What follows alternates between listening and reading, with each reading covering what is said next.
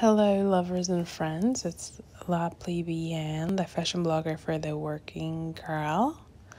And I just wanted to wish everybody a happy Fashion Friday. It's a Friday night in December.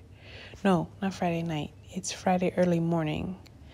Um, but I guess late, late Thursday night. And uh, yeah, I just wanted to really admit, use this time to admit that I've been crushing hard and I've been trying to play it off for so long while I like build up my holiday orders and put together, um, you know, packages for people for my online store. Check it out. And y por todos los niños que están en las calles.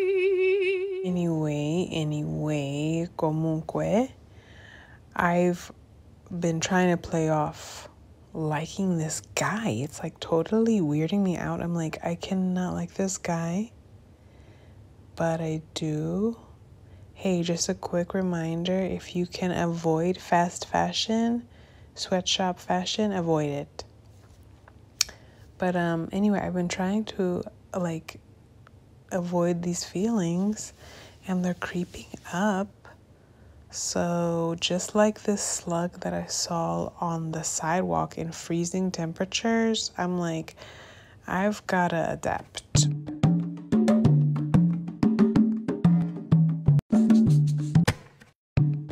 And what I really mean when I say adapt is to strengthen the muscle to Damn. handle these feelings, like this lady here.